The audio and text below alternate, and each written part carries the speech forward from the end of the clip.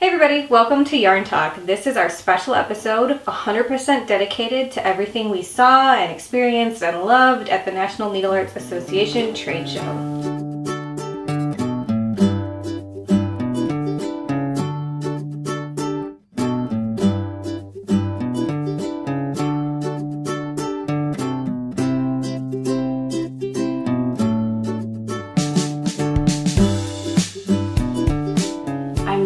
And today I'm going to talk about capes and ponchos.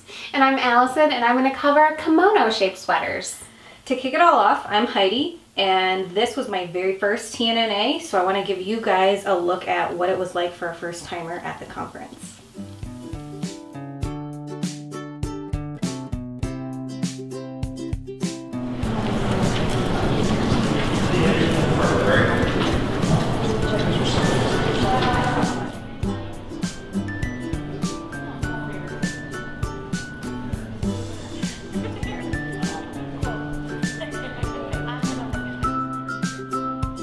We recently got back from the National Needlearts Association's Needlearts Trade Show, where we got to meet tons of people and see some of the best our industry has to offer.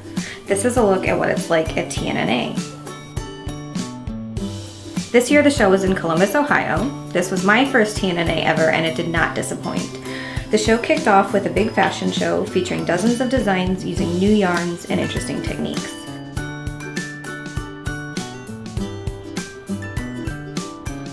Throughout the show, you are able to take classes designed to help grow your business.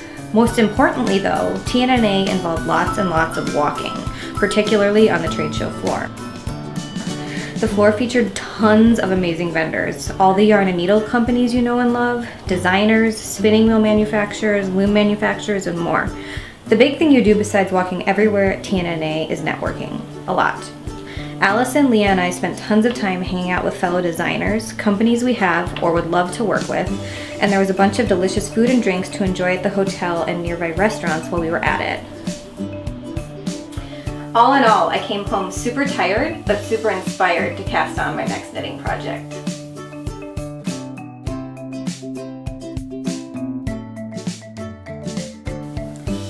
My favorite project that I saw at TNNA was a beautiful little cardigan called Midtown by Carina Spencer from a book called Midwestern Knits. This cardigan has beautiful textured stitches, geometric colorwork, and it has an open front which makes it really easy to wear. And I especially love how Karina styled the sweater for her photos.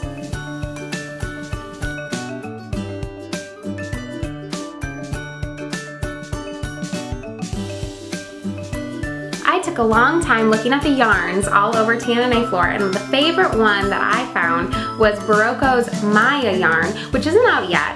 It's a chain knot yarn that's popping up all over the place. It is a cotton and baby alpaca blend, which holds the chain knot really well, and I think it's gonna do a lot for your stitch de definition.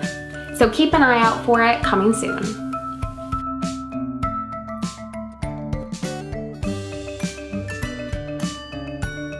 Available in 11 sizes, the Carnelian Tunic by Faina Goberstein features a bottom-up A-line construction with bands of colorwork at the shoulders and hem. The eye-catching colorwork is accomplished by using slip-stitch patterns in three colors, and the resulting texture begs to be admired. Knit mostly in stockinette, the body decreases to the armholes, at which point the sleeves are constructed and the tunic is finished with another section of colorwork. This tunic immediately stood out to all of us at the TNNA fashion show and was presented by Anzula.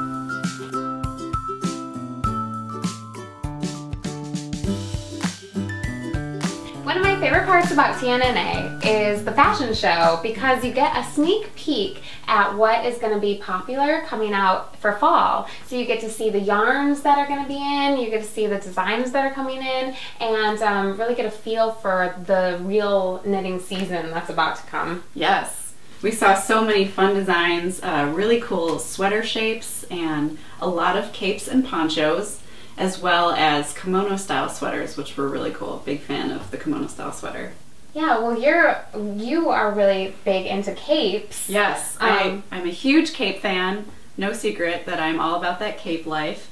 I designed a cape for Holla Knits' winter collection last year, and I love doing that, and it turned out really well. I'm very happy with it. Mm -hmm, and that really opened me up to capes, and now I wear a cape with everything. I, I love the shape of it, and I love how easy it is, and I think that's why people love ponchos so much too. Yeah. Is you don't have to design it, you don't have to like style yourself too much. You just throw it on and and go, and it provides a lot of warmth. Um, all of these, all of these sweater shapes do, yeah. um, with just a real ease is. Yes, very comfortable. Um, it gives you sort of like a whole outfit in one piece, which is really nice. Mm -hmm. So one thing that I get a lot is what exactly is the difference between a poncho and a cape? Yes, that's a very good question. Thank you for asking. Um, a poncho is essentially a piece of fabric with a hole in it for your head. So it can be made in a lot of different ways. It could be as simple as just a big rectangle, which makes it very knitter friendly. And we did indeed see a lot of ponchos on the TNNA runway that were really nice. Um, a cape is usually a little more structured. It has a little more design going on. There's usually a front closure. Um, or as you've seen on a lot of runways and stuff with the celebrities that have been wearing capes, there's been so many capes. Like in the last year, it's been amazing. Um, a lot of them have been attached to their dress, so it's just sort of part of the whole look. Yeah, so it's not a warming outfit, it's more of like a flare yes, part. Like a superhero. Yeah, like a superhero cape. yeah. Um, but when you when you go to knit something or when you go to like your everyday life, um, it's more of a you just throw it on and, and mm -hmm. go. And go. Mm -hmm. yeah, exactly.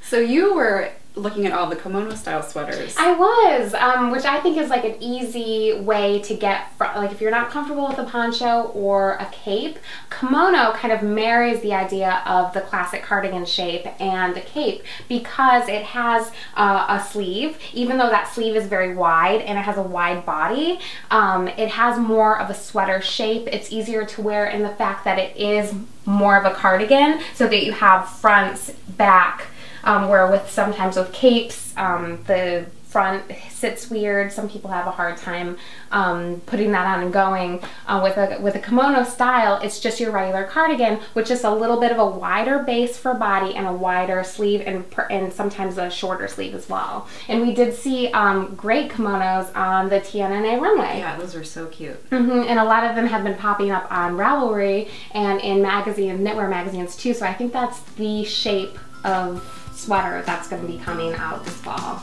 Cool. So much fun. Yeah.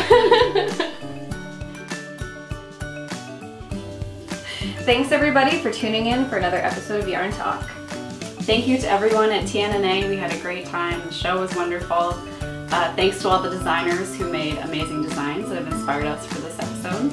And let us know what you think by using hashtag Yarn Talk on Twitter and Facebook. And leave a comment here and be sure to subscribe to Yarn Talk. Bye guys!